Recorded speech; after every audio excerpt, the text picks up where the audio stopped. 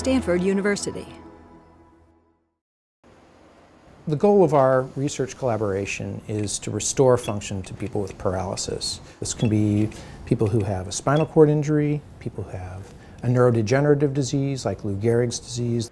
We're able to eavesdrop in on electrical activity and slide a cursor across a keyboard and type out messages. Our research is focused on an area called the motor cortex. Uh, the motor cortex is responsible for generating movement on the opposite side of the body.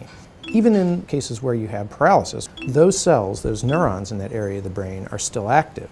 We can surgically implant a tiny electrical sensor that's made out of silicon that has 100 tiny electrodes that just sits on the surface of the brain and it's able to pick up on the electrical activity of individual brain cells or neurons.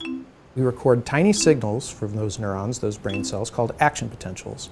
We can then take those signals and decode them using a computer. We can manipulate them once they're in digital form like any other data. So all you need to do is imagine moving your right arm, for example, to the letter T on a keyboard, and it'll slide out to the T. And in addition to that, we're also able to detect when you wish to select that letter T. Our participants were able to type at rates anywhere from 12 to up to almost 40 characters per minute, uh, which translates to, in the best cases, about six to eight words per minute. The interface that you could control with these decoded neural signals is really many-fold. So you might instead wish to control a robotic arm. You could imagine also interfacing with your home wirelessly sending signals to your thermostat, open and close doors remotely.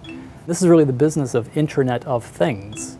It's important to keep in mind that this is a, a phase one study, so this is really a, a, safety study, it's a feasibility study.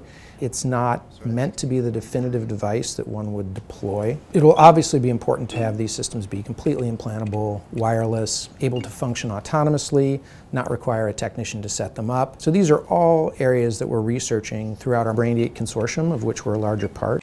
But I'm very confident that in the not too distant future we'll have uh, systems that are deployable and able to provide help for people with paralysis.